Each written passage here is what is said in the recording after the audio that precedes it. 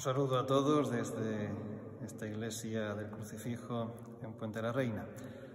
Os invito en este camino de cuaresma a hacer tres paradas en sitios de esta iglesia que nos evocarán en sentido de estos días, en sentido de seguir al Señor Jesús.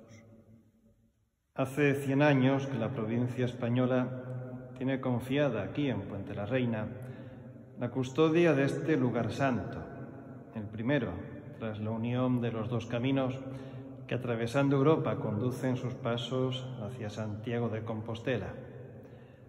La cuaresma es tiempo sacramental, porque es tiempo en el que Cristo, verdadero hombre, se hace más cercano, infinita y decisivamente más cercano, como verdadero Dios.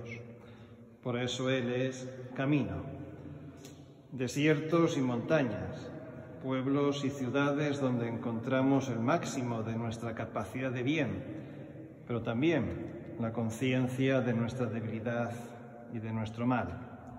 Y en el camino, Él, Cristo, es nuestra luz. Primera parada. En Cuaresma, el Señor nos va modelando hasta que su camino sea nuestro camino. Y porque esto es así, el camino nos lleva a la verdad. Cristo caminó hacia su hora, la hora de su entrega y de nuestra salvación. Y en este mismo templo en que nos encontramos se albergan los restos santos del religioso deoniano que logró abrazarse la verdad, el beato Juan María de la Cruz. Él proclamó la verdad encontrada en su entrega.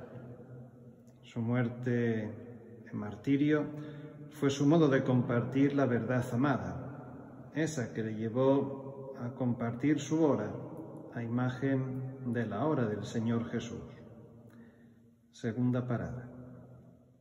¿Y dónde encontrar vida? ¿Cómo alimentarse en el camino y ser fortalecido en la verdad?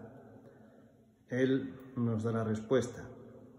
Es Él el que repara nuestras fuerzas también el que repara nuestros pecados y también la historia que construimos como sociedad. Nos despedimos con el deseo de un buen camino cuaresmal hacia la Pascua. Nada de la cuaresma tiene valor si no alcanza su meta en la Pascua de Resurrección. Por eso, feliz camino, feliz verdad, feliz vida en el corazón de Jesús.